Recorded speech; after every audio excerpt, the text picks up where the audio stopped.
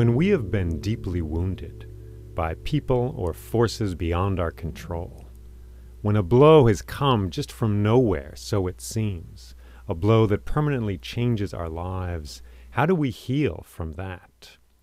Do we heal according to some schedule or plan? Or do we plunge into the unknown? Do we seek out the ancient powers of the earth? I'm Jay Leeming, and this is the Crane Bag Podcast. Today we're going to explore the story called The Handless Maiden, a Grimm's fairy tale that is in fact found in over a hundred versions around the world. I'm going to be joined in exploring this story by my friend Elaine Stanton, who has a lot of experience with stories. Thank you for being here. Let us begin.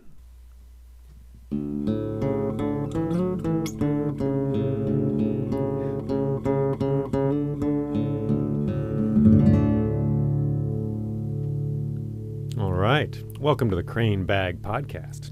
And today we're going to explore, as I said, a story called The Handless Maiden. And I should say right away that this is a pretty brutal story. It's a violent story. But the violence in it is not arbitrary, but actually has meaning and is dealt with in a beautiful and very real way.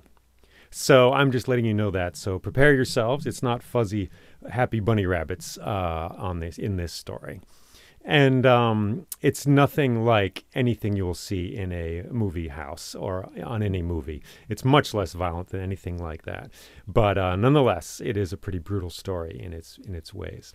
Um, and I love that these fairy tales go there actually and deal with these hard things. As I said, this story has over a hundred different versions around the world. Um, many versions told and kept alive by women telling the story. It's a story which, in some respects, speaks to that feminine part of ourselves, uh, whatever our gender, speaks to that feminine side of ourselves.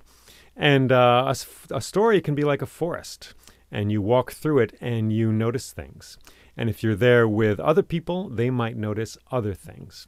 One person notices a rock on the ground. Someone else notices the leaves of the trees. Someone else hears a distant bird that no one else noticed. So uh, today I'm joined by my friend Elaine Stanton, who has spent many years exploring stories. And I'm hoping we can go through this story together and uh, uh, deal with its uh, beautiful difficulty. Uh, thank you for being here, Elaine. Great to be here, Jay. And I'm very excited about the story, and we will wander through it together. Thank you. I'm reassured. Um, perhaps you could tell me and the folks listening uh, how your relationship with story began. Okay. Um, I love fairy tales. And uh, at an early age, I was interested in Jungian psychology, and I, I eventually got a PhD uh, in a program that specialized in that. And and and we studied fairy tales there. And but you know having that background is all uh, good it is background in the end these stories just come alive and it's so great you are telling them and we can just sit back and be receptive and let these images flow through us because they are old and ancient and they have a lot of meaning today so i'm very excited about it Cool. Cool. Well, I'm glad to have you here. And I just want to mention you do have some um, experience therapeutically with, with story. With yes. yes. Yes. I so I I have a PhD and and uh, practice as a child psychologist. Mm. I specialize with children, especially. Yeah. Uh, but uh, you don't have to have a PhD to really love story. right. Oh, of course, of course. Sometimes it helps not to, you know. Yes, but, uh, exactly my point. right. But uh, and and let me say, we're not going to look at this story as therapeutic. You know, mm-hmm. we are just going to have it come alive for us in our lives. Yes. Yes. So, okay. Wonderful, wonderful. Well, Yeah. thank you for being here. So, without further ado, let us begin the story of the Handless Maiden.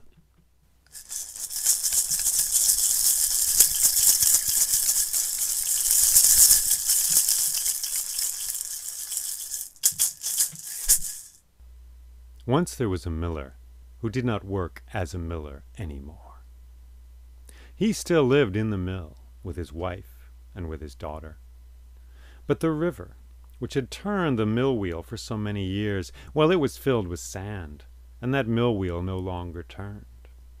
And the grinding stones inside that mill, they no longer turned either. And no one brought their grain to that mill to grind it into flour. So the miller earned his living in a different way, by walking into the forest with an axe and chopping down wood and selling it in the market in the nearby village. So one spring day he set out, as he often did, into that forest. But as he did so, suddenly, from out behind an old tree, there stepped a gray man. What are you going to cut with that axe? the gray man said. Oh, just some wood to sell in the market, that's all. That's how you earn your living, is it? said the gray man. What if I told you? You could make a deal with me, and after that deal was made, you wouldn't have to work any more. You wouldn't have to struggle and search for your living in this world. No, no. You would be a wealthy man. I'd say you were dreaming, said the miller. But what sort of agreement are you suggesting? Well, said the gray man, I live in these woods here, you know. I've learned many things. I'm something of a magician, you might say. And I have secret powers. So I would say all you would have to do is agree to give me something. Let's say, oh, let's say what's behind your house. Yeah, just give me what is behind your house. Promise me that. And I will make a deal between you and the spirits of this world so that you will never have to work again. What do you say? The miller thought about this. What was behind his house? Well, there was a flowering apple tree there now. It was spring, and the apple tree was very beautiful. He thought about chopping that tree up and delivering it to the gray man. Well, we can always plant another apple tree, he thought. So he looked at the gray man and he said, Oh, why not? Yes, I'll give you whatever is behind my house. Sure, that's no problem. I agree to that. And the gray man smiled and said, Wonderful. I will come in three years to take what is mine. Three years, said the miller. Yes, three years. Until then, enjoy your wealth. And the gray man turned and he walked off into the forest. The miller watched him go, and after a while he couldn't see him any more. And the miller turned, with his axe in his hand, and he walked back towards the mill. As he approached it, he saw his wife hanging up laundry on a line outside. My husband, she said, where did you get the gold? The gold, he said. Yes, the gold. There's a chest of gold pieces in the front room. That's not ours, is it? Uh, it is ours, he said. I, I made an agreement with a, um, a man, a sort of a magician in the woods. What? A magician in the woods? What sort of agreement, my husband? Well, I, I agreed to give him whatever is behind our house. All that's there is that apple tree, and we can surely plant another. Oh, my husband, she said, there's more than the apple tree there. Our daughter is there, sweeping the yard as she always does. Have you given away our daughter? I, I don't know, he said. What have you done? she said.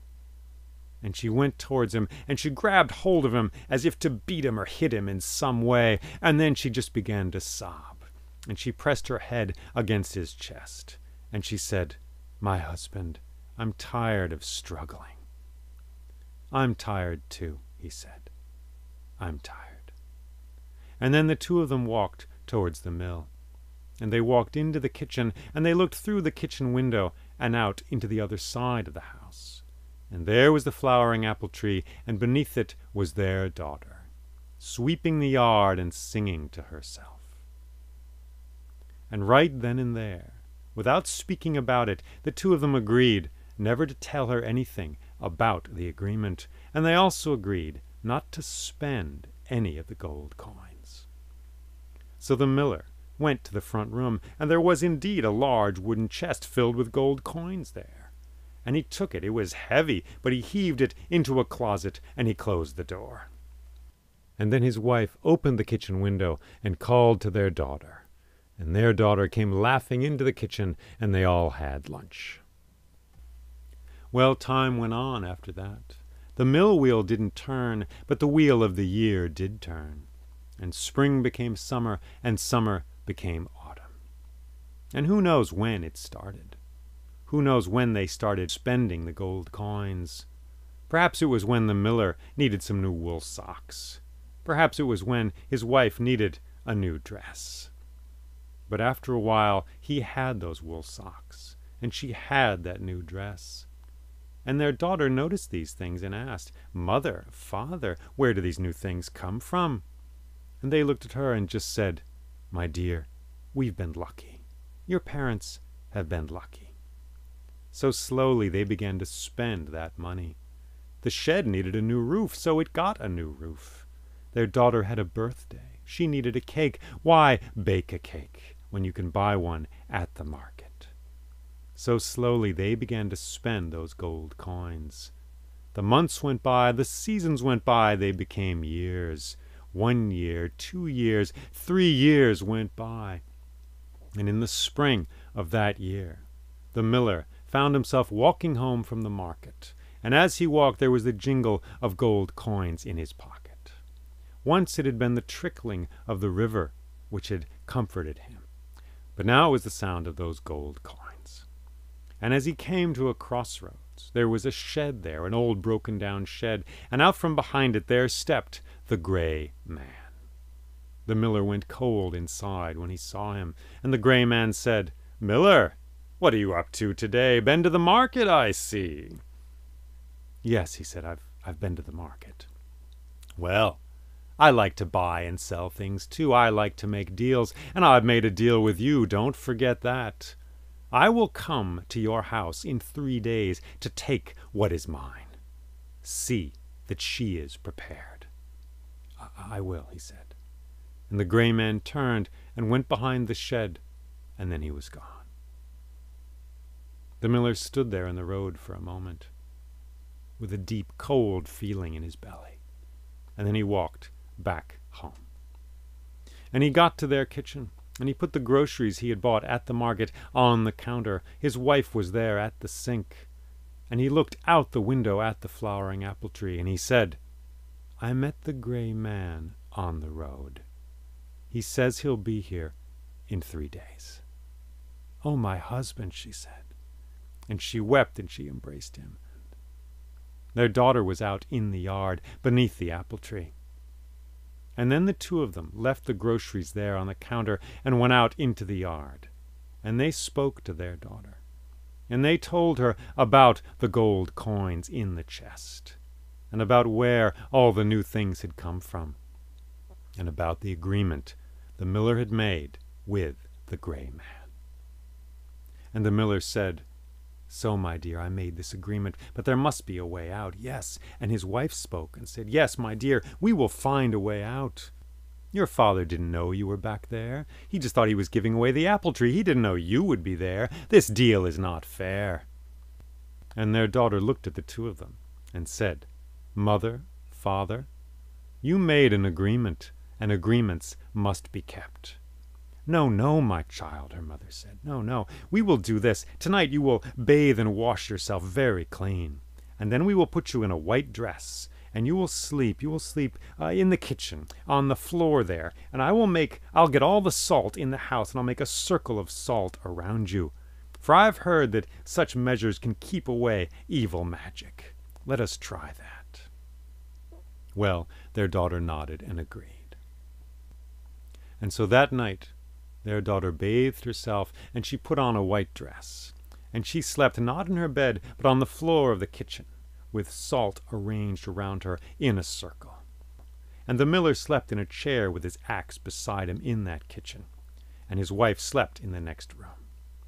And none of them slept very well. But in the morning the birds began to sing, and a new day dawned. Was the gray man there? He was not. All morning long he refused to appear. They began to get bolder. Their daughter would walk away from that circle of salt to get a drink of water or to walk around in the garden, but always she would return a little nervously to that circle of salt. Then the afternoon came. Still the gray man did not appear. They began to get almost happy, giddy. Perhaps he wouldn't come. The sun was approaching the horizon. If the sun set, perhaps the deal was off. Perhaps it had all been a game, a joke. Perhaps he was not coming. And the miller's wife went to the cupboard, and she took down a jar of old flour. I will bake some bread, she said. I have not baked bread in a long time. And she went to the counter and put the jar down there. And then she looked out the window, and she saw a face. And the face was the gray man, looking in the window at her. And he smiled. And he walked around to the back door, and he opened it, and he said, Miller, I am here to take what is mine. Is she ready? Is she prepared? And he looked, and he saw their daughter there in a white dress in that circle of salt. Miller, are you trying to sneak away to get yourself out of this deal? You made an agreement, sir. It must be kept. But I cannot take her like this, in that white dress, all clean as she is. No, no, she must not bathe for an entire week. She must be dirty from head to toe, and then she will be mine. I will come in seven days to take what is mine. Do not fail in this, or I will take you, sir, and you will never see this world again. And fire flashed in his eyes, and then he turned and walked into the back yard. And a moment later there was only smoke in that yard, blowing away on the breeze. And the miller's wife began to sob. And their daughter stood up, and she said, Father, you made an agreement. Agreements must be kept and she walked out into the backyard. And all that week she did not wash or clean herself in any way. Her hair became tangled and strange. There were sticks and leaves in it. She wore only the one dress, the white dress, which became dark and covered in dirt and in mud. A whole week passed, and finally it was the night before the day when the gray man would come. And in the middle of this night their daughter awoke and looked out her bedroom window at the apple tree flowering in the moonlight. And suddenly she was very scared. And she wept and she cried, and those tears fell onto her dirty hands and washed them clean. Her sorrow made them clean. And eventually she slept. And then morning came and the birds sang. But the gray man did not arrive. They weren't sure what to do, where to go. All morning they puttered around the house, and then in the afternoon they went out into the garden. A new garden, they'd had it put in very recently by master gardeners from the village. And they drank some lemonade, expensive lemonade, because lemons come from far off. And they waited there in that garden and just as before, the sun seemed like it would soon go down. It was approaching the horizon. Soon the day would be over. Perhaps the deal would be off. And then there was a sound from inside the house, a scuttling, footsteppy sound, and the miller stood up and opened the kitchen door. Hello, hello, he said. And then, from the backyard, behind the shed, there came the gray man, and he walked towards all of them. The miller turned, they all looked at him, and he said, Miller, I am here to take what is mine. Is she ready? Is she prepared? And he walked, and he looked at their daughter, looked at her from head to toe. She is not prepared. Look at her. Her hands are clean. I said she must be dirty from head to toe. I cannot take her like this. Miller, you must cut off those hands. What? he said. Cut off her hands? Yes, Miller, I said dirty from head to toe, and her hands are clean. Her sorrow will not save her. Cut off those hands, you must. I will come in seven days to take her then. She must be ready, she must be prepared. Do this, or I will take you and your wife both, and I will ruin this house and this land. And fire flashed in his eyes once again, and he turned, and then there was only smoke there, drifting away on the wind. They all stared into that smoke until it was gone. And then their daughter stood up and she said, Father, agreements must be kept. And slowly and resolutely she walked across that garden and towards the shed. And behind that shed there was an old stump that they had used to kill chickens years ago when they had had chickens. And she knelt down next to that stump, and she laid her wrists down on that stump, open to the air. Her mother burst into tears and ran into the house. The miller stood up. My daughter, my dear daughter, and she said, Father, cut off my hands. My dear daughter, Father, agreements must be kept. Cut off my hands. And trembling, the miller walked into the shed. And then the only sound in the yard was the scritch, scritch, scritch of an axe being sharpened. The girl flexed her hands there on the stump. For a moment they looked like strange animals come from the sea like they were already no longer a part of her. She clenched her fists and opened them. She looked up at a cloud in the sky. And then the miller stepped out of the shed. As he walked, he carried the axe. He was very conscious of the weight of that axe in his hand, and his ability to hold that axe with his hand. He went to the stump. He looked his daughter in the eyes. Cut off my hands, father and he lifted the axe high, and he brought it down twice. And he cried out, and his daughter cried out as well, and the stump was covered in blood. And then her mother rushed from the house, carrying sheets that she'd ripped into strips, and they wrapped these around the stumps of her arms.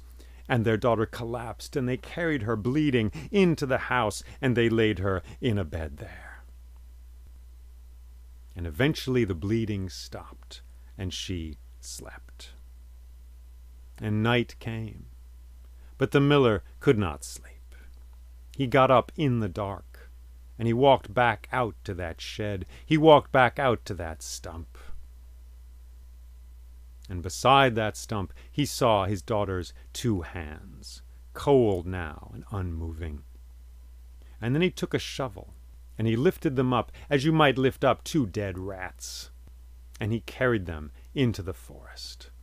And he dug a hole there, and with the shovel he pushed the hands into the hole.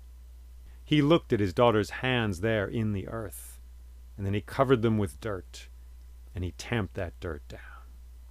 And he turned and walked back to the shed in the darkness, lit by the stars, and he put that shovel against the wall of the shed. And he walked back into the house, and he tried to sleep.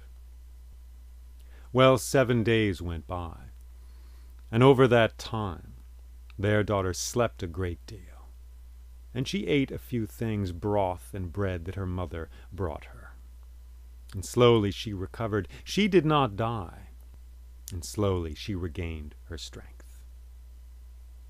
But once again the night came before the day when the gray man was to arrive, and in the darkness she awoke and she looked out the window of her bedroom at the flowering apple tree there.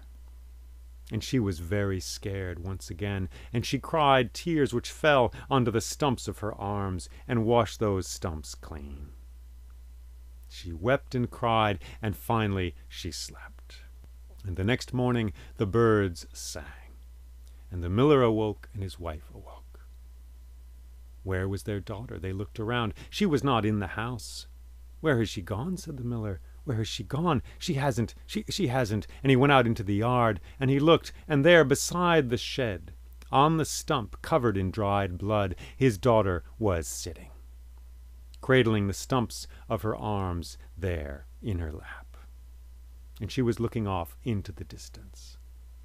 She sat there all morning. The miller went to her. He offered her some bread. Father, you made an agreement. Agreements must be kept. Yes, my child, he said. Yes. All afternoon she sat there. The miller went and stood by the shed. And finally, when the sun was about to go down, out from behind the shed there came the gray man. Miller, I am here. Is she ready? Is she prepared? Is she mine? And he looked at the miller's daughter, and he saw that indeed she was dirty from head to toe, and he saw that she had no hands, but he saw that the stumps of her arms were clean. She has cleaned her arms again. I wanted her dirty from head to toe. Miller, you have been trying to sneak out of this agreement. Well, and sneak out of it you have, for I can only come three times. So, I cannot claim her any more. She is yours. But, Miller, you have done well. You have done good work here. You have done my work. Enjoy your wealth, sir. And he turned and he walked off into the forest, and soon there was only smoke where he was, and he was not there. The miller's wife had been watching from the kitchen door. She came running forward, and then she and her husband knelt before their daughter, who was sitting on the bloody stump. Dear one, dear one, they said, we will care for you. We will build you a palace. We have the gold. We have the money. We will build you a beautiful palace. You can live there in style and luxury for all your days. If you want servants, you will have servants. We will care for you in the best way. And she looked at the two of them, and she said, I do not want wealth. I do not want money. For I have seen what those things lead to. Mother, tie my arms behind me. What? Mother, tie my arms behind me, for I have seen what evil arms and hands can do. Trembling, her mother did that. She took some rags near by, and she tied her daughter's arms behind her. And the young woman said, Mother, father, I will beg and wander through this world. Perhaps I will see you again. And she stood up and she began to walk away from the stump, away from the shed. No, the miller said, no, stay. But their daughter said nothing. She just walked into the forest. And then the miller's wife burst into tears. And the two of them embraced, and they were sad for a long, long time. And the maiden without hands, she walked where there was no path she walked into the dark places of this world, the tangled, shadowy places. She became thin and even dirtier than she had been before. Her hair was covered in mud and sticks. It was long and tangled. She ate ferns. She ate the leaves of trees. She ate a few old blackberries she found on a bush. She scavenged for her living, became very thin, barely alive, it seemed. She wandered for a long, long time always hungry, always thirsty. Not sure where she was going, not sure where she should go. Finally, on one moonlit night, she was wandering, stumbling through a dark forest, when she heard water nearby. And she went to that water, and she saw there was a moat there. And on the other side of that moat there was a stone wall, and above that stone wall she could see pears on the branches of pear trees. Even here across the moat, she could smell that beautiful flavor carried to her on the air.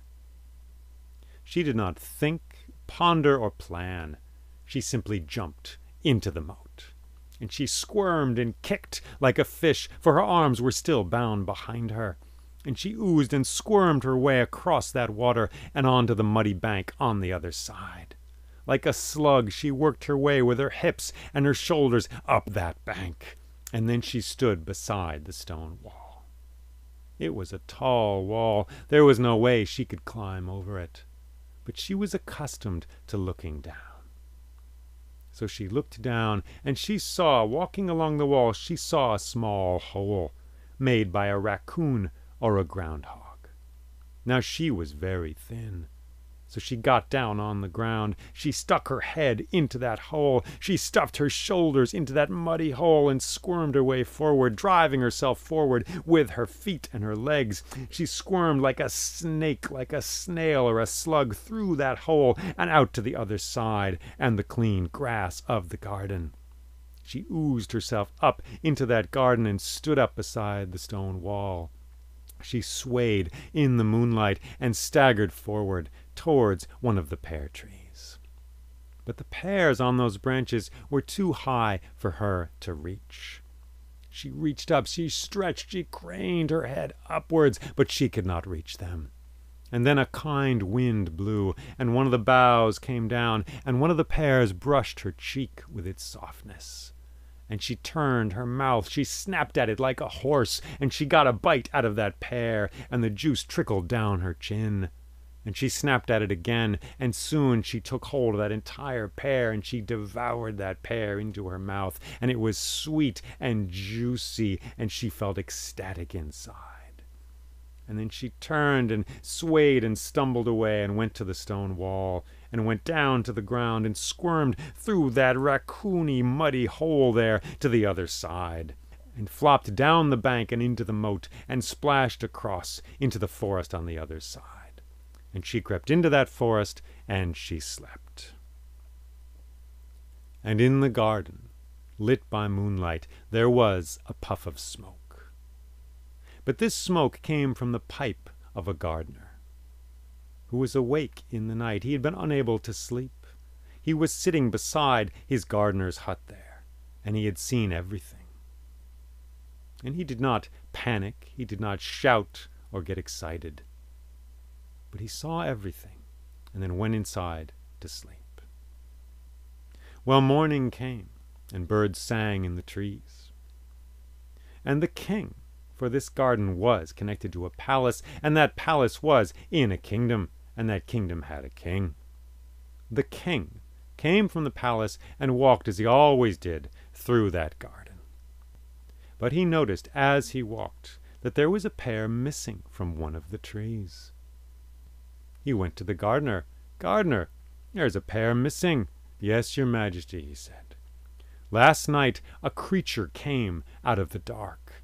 It flopped across the moat. I saw it with my own eyes. It came oozing up from the ground, and it staggered and stumbled to one of these pear trees, and it ate one of the pears. It had long, tangled hair. It had no arms, but it did have feet and legs.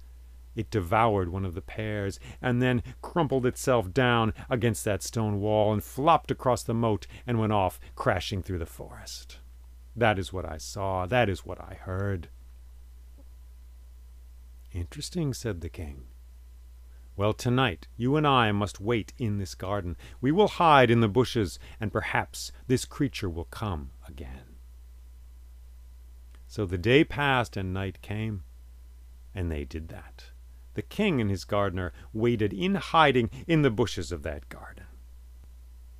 And after a while they heard a sound, a rustling in the forest on the other side of the moat. And then they heard a great splash and a grunt as something came squirming across that water, kicking with its legs. And something flopped up the muddy bank, and something squirmed its way through a hole at the bottom of the stone wall and then rose up into the garden, a great shape covered in hair, with no arms, staggering and swaying through the moonlight towards the pear tree. And then, horse like, this creature snapped at the pears there, and it took hold of one and devoured it and ate it down. And the king stood up, and he took a step towards this being, this creature in the garden. And the king said, You there, are you a creature of this earth, or are you a spirit of the air? And the handless maiden looked at him in the moonlight, and she said, I am a woman of earth, I am a woman of earth, rejected by all the world. And the king took a step forward. He could see her dirty face in the moonlight, and he said, I do not reject you, I accept you. And he walked closer, and she took a step towards him, and she saw him in that moonlight. And then he said, Come, my dear, let's get you cleaned up. And he reached out to take her hand, and then he realized that she had no hands. And he and the gardener led her back through the garden to a door in the side of the palace. And she got inside, and she saw there was a room there, with chairs and a table, with a rug on the floor, with torches in the walls illuminating that room. She was astonished at this sight. It was the most marvelous thing she had ever seen. And then she staggered and she fell. And the king caught her, and he and the gardener carried her to a bedroom there. And she slept more soundly and more peacefully in that bed than she had in a long, long time.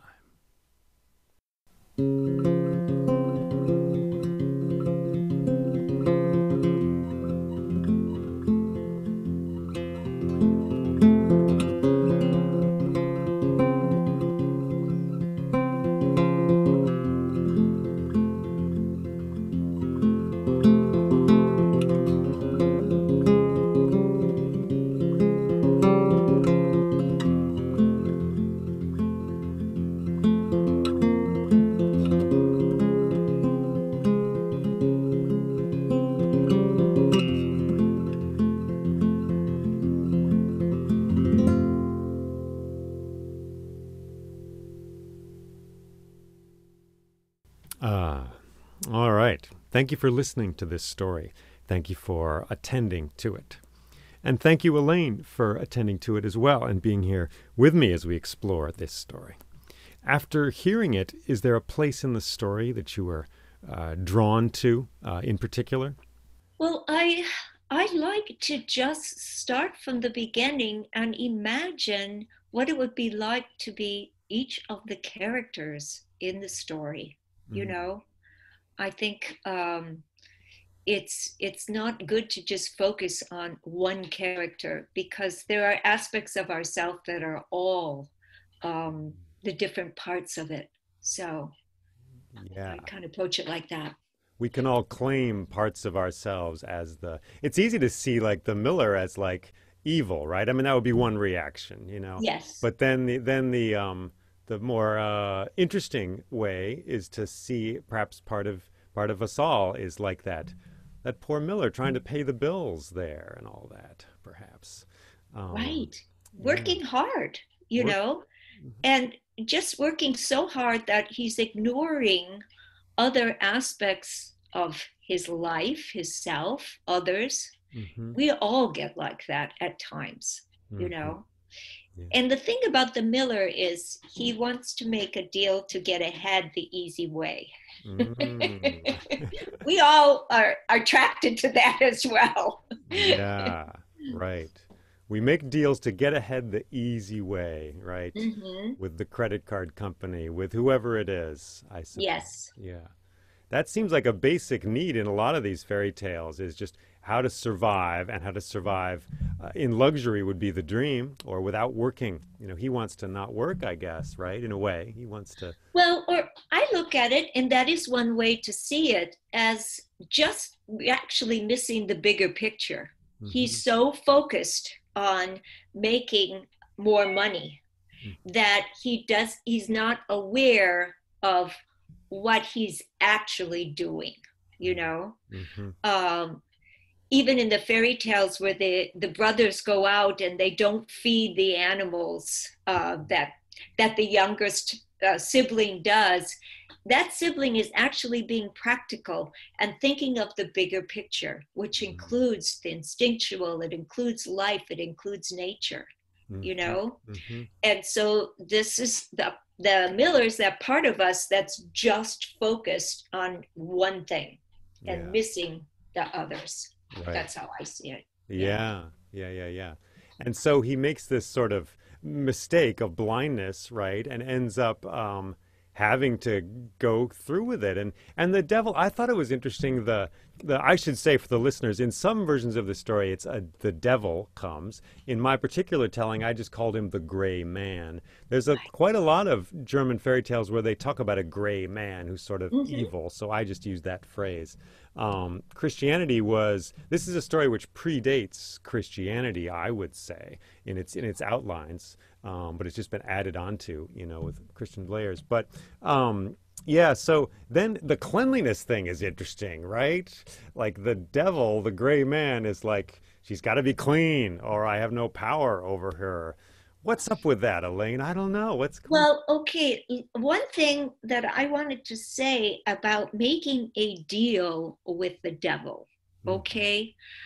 One way to look at that is that's when we stray away from our true selves. Mhm. It's you know, I think we all have in us a kind of love and a way that connects to the greater world. That's the best way we can be. Mm-hmm. And sin and evil, there are just times where we really lose sight of that and begin to act from something really against our best nature. Mm. So that's how I look at the Miller. Yeah. And um, and then the so you know he has sold his daughter to this part of ourselves that is against love and the greater good of the world and she refuses to be taken um, one way you could look at that is well yes she cries at one point to wash her hands and it has to be uh, unclean i i looked at that as just she's not going to who she is in that part of ourselves is not going to easily become something that we are not. Mm-hmm. Is that sound obscure enough? it's not going to become something. She's not going to go quietly and easily. No, no, yeah. and that's you know. In a way, she, it's she doesn't have any special tools or anything other than her innocence you mm-hmm. know we all have parts of ourselves that no matter how we accomplished we are and all that we do out in the world we have a part of ourselves that's very innocent and young mm-hmm. and pure you mm-hmm. know yeah and um but she has a very strong character mm. actually mm-hmm. you know yeah I, what what it is that the you know, sin or what goes against the self can't go with something that's clean. I don't know. One could just think about um, those aspects of ourselves and how they remain uh, unique and separate. Because we all have times where we suddenly connect to that daughter, you know. Yeah Mm-hmm. We stop uh, focusing on everything and begin to say, write poems, mm-hmm. you know, or go hiking out in nature and just open ourselves up.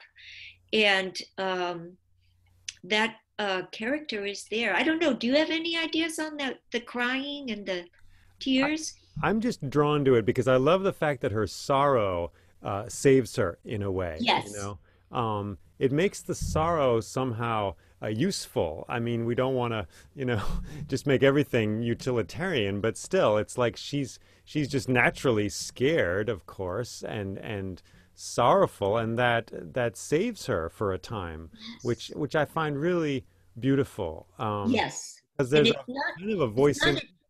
yeah, there's probably a voice in me which says something like being happy is the way to go all the time. And if you're being sorrowful, you're just kind of by the side of the road. You're not really a part of life, you know. But sorrow is, of course, part of life, and it's right in there with everything else. And the fact that her sorrow actually does something in the story to move it forward is, is very beautiful to me.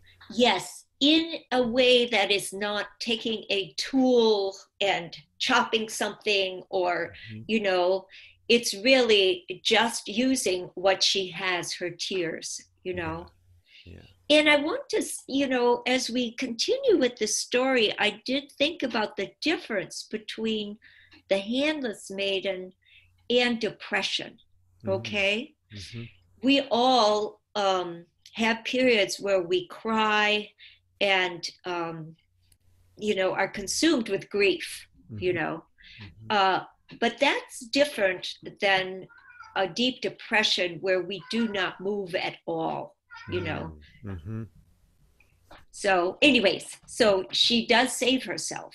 Yeah, she's not sort of inert. I mean, there's a sorrow which is which is getting somewhere in the in the yes, story. yes. Yeah. Um, and so the devil comes three times and he fails in the end, has to let go of her. Um, and the deal's off in a way, kind of, but the damage is done, you know. Um, I kind of wondered, part of me was like, well, why does the devil not keep coming? I mean, uh, three times, what's, is there a rule somewhere? But. But, but Jay, he surfaced, that, that devil or that aspect surfaces throughout the story. Yeah. It's just not over with, is it? that's true. That's true. Yeah, yeah. He's not gone, you know. Yeah. Right. So it isn't so simple in Yeah. the end. Yeah, it's Yeah. true. It's true. Yeah.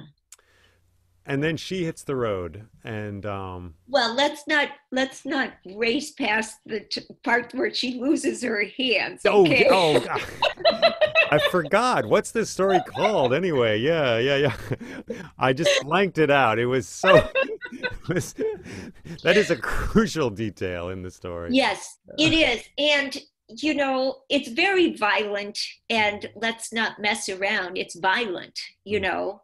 Uh, but I think it is necessary in that it fits with this character Mhm. who is going through life without being so ego centered and active you know she is courageous she and she's a different kind of activity you know? Mhm. and um and so you know what i thought of as with her hands gone she is forced into wandering in the most um well in a particular way that she a most inactive way shall we Mm. say it's Mm. very different to be in a forest and lost with all of your hands and your feet and whatnot Mhm. but in this story, this part of ourselves cannot hold on to anything,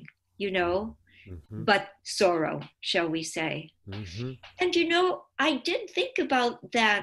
When are we like that? That we are so not about uh, creating things with our hands or thinking things and out of our ego.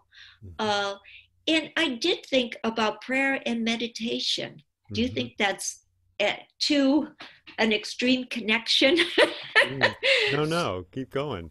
Uh, it, it's um i felt like when we uh, stop our busy day and sit down and meditate or prayer prayer you know uh that that's when we are letting go of all of these other things in our lives you know Mhm. and and just being and i don't want to um pretend that all's great with this uh poor woman wandering without her hands Yeah.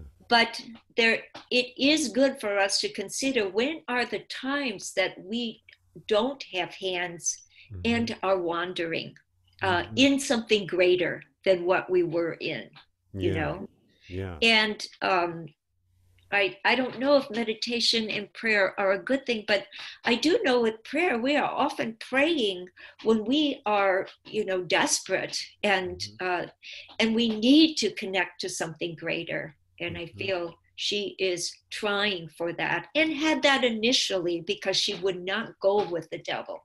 She knows there is something greater, Yeah. right? So the greater thing comes from, as you pointed out, she's not depressed. She's not like inert, like No. lying at home wrapped up. She does go out into the world, Yes. which is quite an important difference, you know, from just being Yeah. completely depressed. Um, yeah, I like what you say about prayer and meditation. It's um, she's incapable of doing. She also has her hands, her arms bound behind her. It seems. Um, Yes. so it's pretty total, you know. Yeah. um, almost animal like. You know, we talk about our opposable thumbs, you know, our hands. We're so great. We can make rocket ships and stuff and play the piano, but but she's just feet and then of course uh, heart and soul and all that. But um, she's And- reduced. We can all think of ourselves too when are we in that place where where we are just unable to do anything other than wander you Mhm, know mhm. and i think it's important to go back to the miller and realize that if you want to be all these different parts of oneself Mhm. we each time we're so focused and busy and need to be that way there is another aspect of ourself that is wandering and Mm. and not doing anything you Mm. know Mhm. and is trying to find another way to be in the world that is opposite of when we are so active you Yeah, know yeah. Does she find that way or not? Um, before we leave this moment, that's not. I don't want to. Yeah, we got to stay with the moment here. Yeah. Um, but I, I, this is just a question. I don't want to suck any life out of the story, but um, I don't know. Is it a story? Is this story political in any sense that it's about women's disempowerment in particular, or is that not really an, uh, an issue? I mean, could it have been a is it does it matter that it's a handless maiden and not a handless prince, for example? What do you think? Um, I I don't know as if it matters as much male or female, hmm uh, but I do think it is, as I said, very different having somebody wandering with all of their being versus somebody without their hands. There is something about this character that is as receptive as we can get, as mm needy as we can get. And I think we all have to recognize what that is in us. hmm I think, um, you know, for somebody, it may uh, mean that someone tried to take away their ability to be in the world and they relate to the story that way. mm Uh, that's totally fine. Mm. Somebody else may be very successful and realize, oh, there is other parts of myself that are uh, totally um, receptive, you know, hmm uh, totally without um, the ability to form anything, you Yeah. know. Yeah. Uh, so um, I don't, you know, I guess that's just up to the person whether they think it is hmm political. I myself think a little bit about our situation with COVID and the handless maiden, mm uh, especially because we can't hug people like we Uh, used to, and and we can't be use our hands out in public. I was in the hardware store the other day and I made the mistake of opening up something and I was chastised because I'd used my hands, you know? Um, and there is something about COVID that makes us so aware of others as we walk, as we have to be, mhm, and yet we can't touch them, you know? mhm. uh, and we have to be so receptive because uh, we have to go with whatever the government's saying in terms of what we should do you know Mhm. um, i don't know if you have any thoughts on the covid thing and the fairy tale but No, I just feel the the truth of what you're saying in a way. You know, we can't reach out and grab stuff, you know, out there. Other, you know, no we don't shake hands. You know, uh, that's just uh-uh. not happening. And, Mm. you know we can't go to our normal meetings where we meet people I, I dance a great deal, so I can't go dancing very much because I mean so much of contact is now for it's it's dangerous, you know. So in a sense, it gives us a little bit of the feeling that the handless maiden has, I think, Yeah. you know, as a culture. Right, right. That seems very true. You're making me just appreciate the joy of having hands, you know, like yes. um nailing siding on the back of a house in Vermont, you know. Bam, Yeah. bam, bam, you know. That type of activity is just so Right. um so pleasant. Pleasant seems a little weak, but it's so um vigorous and fulfilling, you know Yes. Do something and accomplish it. I mean, I've spent a lot of um, time with music and with poetry and things like that where you do use your hands, of course, but it's a little different, you know. I had a hand thing. I don't know. I, I, when I was in New York, I temped for office buildings and I typed all the time, and my Oh, hands would hurt uh, because I was writing poems at night and I was typing all day. oh And um, yeah, I remember house sitting in Vermont, and this dog at this house would lick my hands all the time after I was. Oh, oh, Somehow the dog knew I would finish writing in the. I would write in the morning, you know, and I'd just work on some poems, hammering away at yeah. them, and then I would be ready for like a walk, and the dog would come in and just lick my hands all over, um,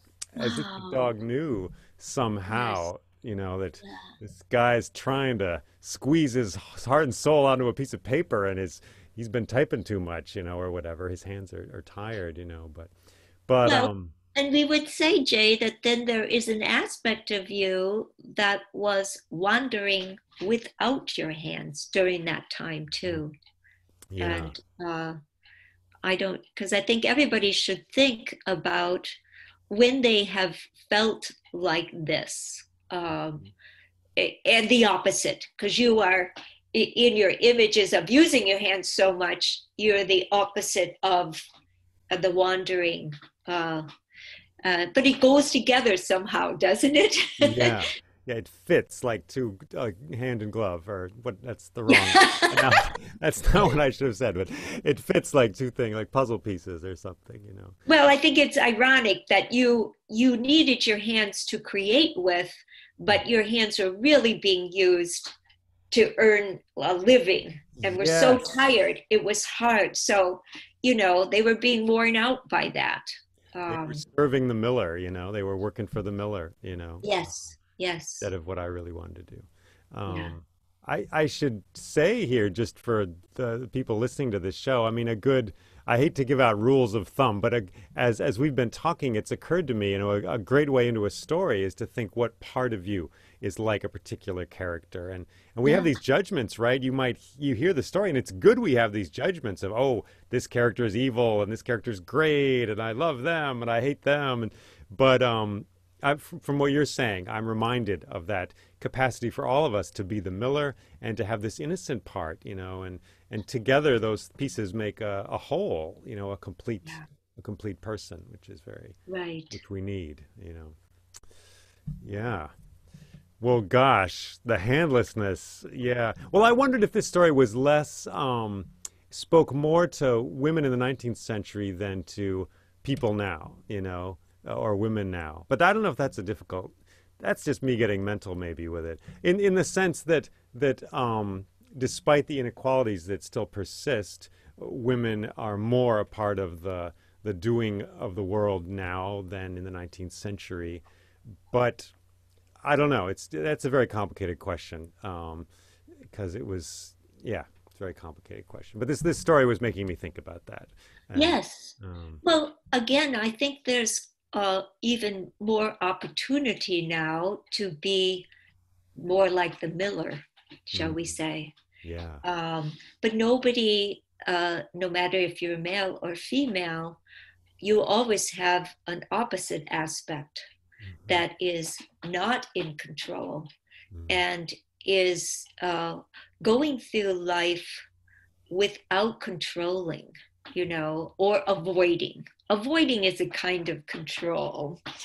Um, and this person is really, uh, or, or this part of ourselves really knows God Mm. and uh, or whatever you associate with that term Mm. and is really trying to find that you know and that is not something we do through our will hmm Yeah.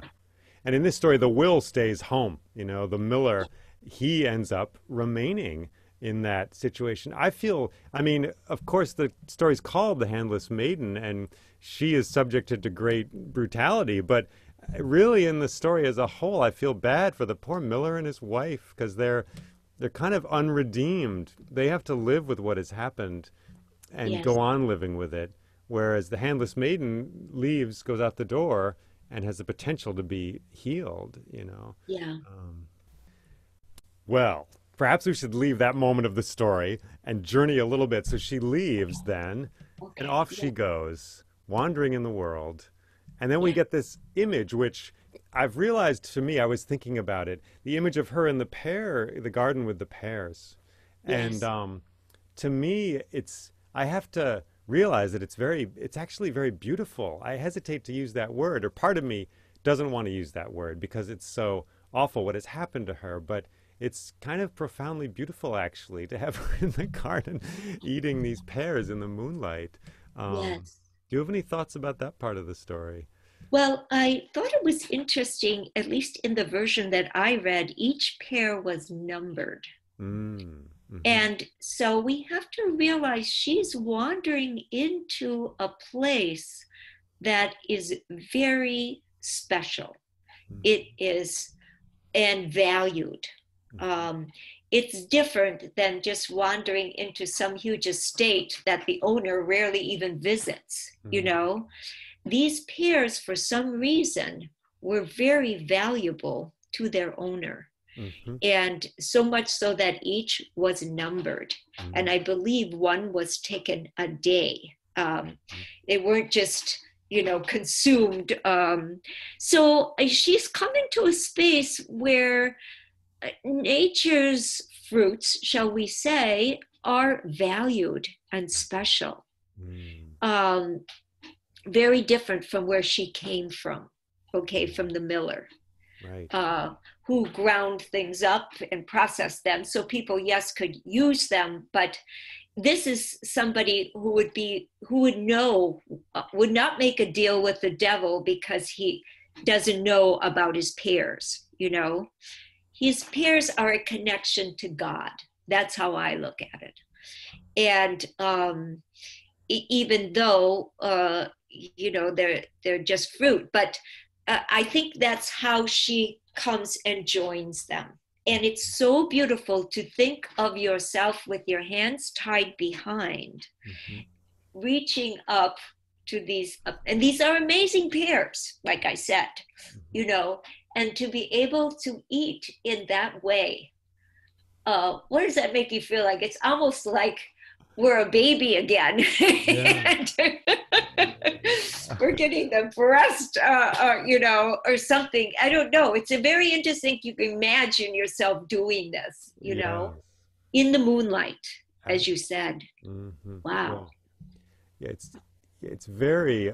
It seems very early in life, as you say, like a baby or something like that. It, it triggers some kind of thing in me like that, you know. You know. Yes, and those pears would be so juicy, and she is so hungry too. Yeah. You know. Yeah. Uh, Mhm. So I just think also as we're imagining this aspect of ourselves that does not use our hands and is not in control, is outside of our ego, shall we say, um, what sustains this person, uh, this aspect of ourselves? Mm. How do we nurture that? How is that part nurtured? Mm. How do we find that beautiful garden? you know? Mm. I'm not sure, but it's really a great thing, Yeah. you know? Yeah, I love what you said about the uh, the difference between the miller's sort of world and the world of the pears and everything Yes. for. I think of um, I think of like a factory farm where we're processing a thousand pears a minute, you know, and the Yeah, CEO of that, you know. Um, yes, and I can feel it in my imagination and in my body almost the, the distance between those two places, you know. right. It's it's just great and wow, it's a strong difference, you know. And even though she has gone through great sacrifice, you know, being not using her will or her abilities in her hands and so forth, this fruit is, it's like, again, I'm going back to a spiritual reference, you know, it's like when you really hear God speak, you Mhm. know, or the goddess speak, Mhm. um, when you do feel in tuned with grace Mm. she is manifesting grace in my opinion eating these these pears you know grace made real and um, we can all think of to ourselves when has this ever happened to us Mm. it does happen to all of us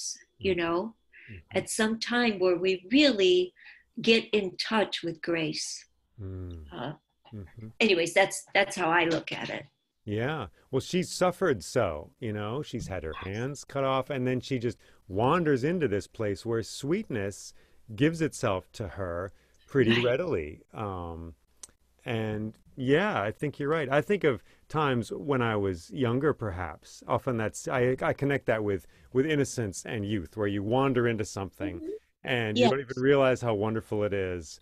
And then 10, 20 years later, it takes you forever to get back to that garden, to that right that, that place, whether it's in a relationship or um, in some other way. Um, perhaps it's the ease of inspiration, you know, when children are just inspired and they're like, "Oh, here, I wrote you a play, Dad. I wrote you. I did five sculptures today, you know." And Yeah. then you get to be whatever, 35 or even 28, and it's like you've got all these ideas in your head. You got to struggle back to that simple inspiration and play which you had as a child, you know. Um, And grace grace is something that we do not will. You Mm. know, we don't control it. Mm. Um, we can find it, we can be in it, but it it's not you don't get to grace by um, using your ego, shall we say, yeah. you know, or power. mhm. Yeah. Yeah. So, It's not a labor. It's not a Puritan work labor thing. it's not at No. all. It just happens to you. in this particular story, there's other stories that activity does lead towards God, but in this story and this aspect that we're looking at, it really over and over brings out that it is not a thing about control. You Mhm, know, mhm. it is really following and um, uh, you know searching for something. Mhm. You know, Yeah. While we're in the neighborhood here, Yes. Elaine, uh, Yeah. I think some of the folks hearing this, if they seek the story out, as we said, they're going to find different versions, uh, for example. Um, Yes. I found a version from South Africa that I like a lot. Oh. And um, I'm told there's versions from South America as well. Um, but the one most people are going to run into, if you look this story up, you're going to find um, an angel and a devil, of course. You're going to find the deal with the devil and also an angel in the garden.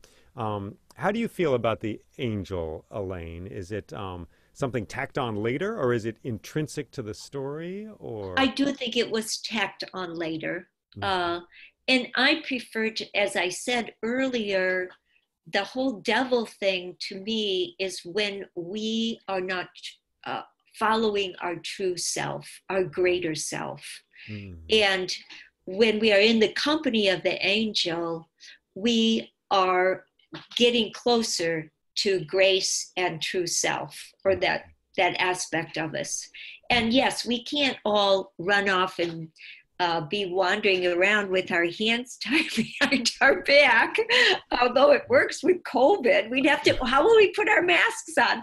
No, um, it's just that you you know you are these things simultaneously and it's just the story reminds us because we are so busy in life doing things Mhm. that this other side that is connected to the greater god or nature or what is beyond us is there all the time you Mhm. know Mhm. that that's how i see it Yeah. Thank you. For me, the angel gets in the way a little bit. I mean, the angel's sort Mm-hmm. of beautiful, but but I love the grace coming from the world itself. You know, from the pear trees, from the grass in my backyard. You know, all these, all the, you know, the air in the morning when you wake up, the frost on that grass. I mean, these are all things in our world, and it's as if the world has the a, a capability to provide grace within it, as well as to provide, you know, brutality and hardship, of course. But yes. so, so the angel in the story kind of like takes that energy away from the world and puts it in the hands of a Christian God, which kind of bugs me a little, because I'd rather just have the, um, you know, the the world itself be my be capable of Yeah. being my friend. yes and, and you know the angel just is a connection to what is greater. You you know you don't have to think christian angel uh, for one thing, different cultures have a whole mess of different ideas about angels, anyways. Some are not human at all. Yeah, So, that's helpful to remember. Yeah. yeah, yeah, Yeah. Cool, cool. Well, um, thank you so much for exploring this story. What else have we? Uh, are there other thoughts we haven't? I mean, it's stories like this are pretty inexhaustible. There's a lot of things in there. You could hang around in it for a long time.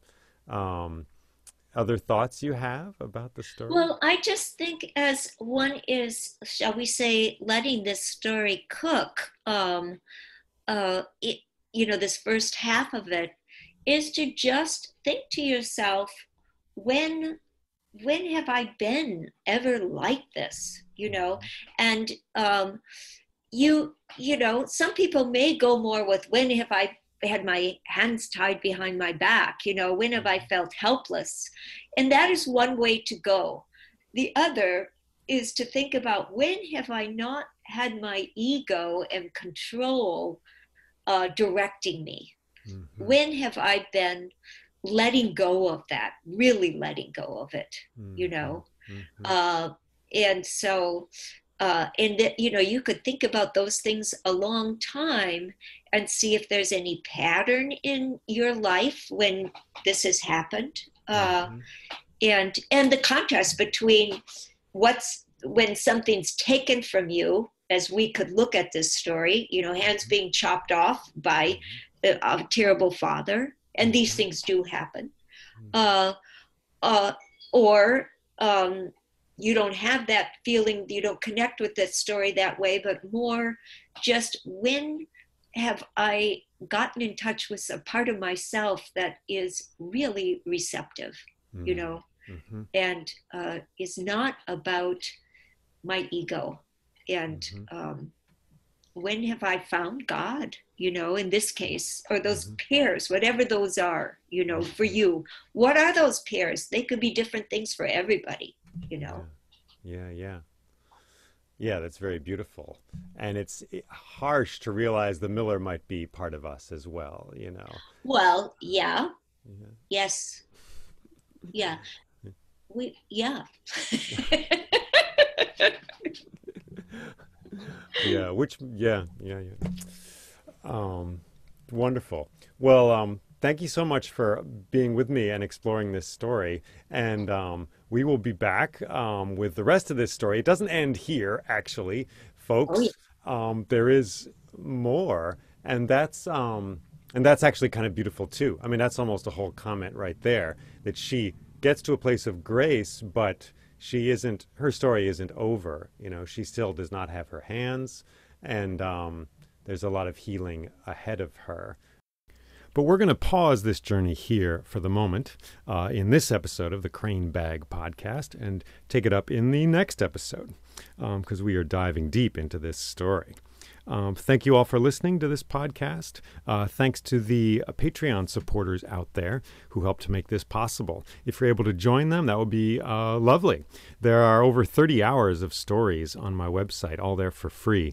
And part of how that is financed is through the uh, generosity of folks able to uh, donate a little to the Patreon side of things. Uh, you can find all those links at my website, jayleeming.com, J A Y L E E M I N G.com. Uh, be well, and uh, may we all enjoy the sweetness of the pears of this life. Take care.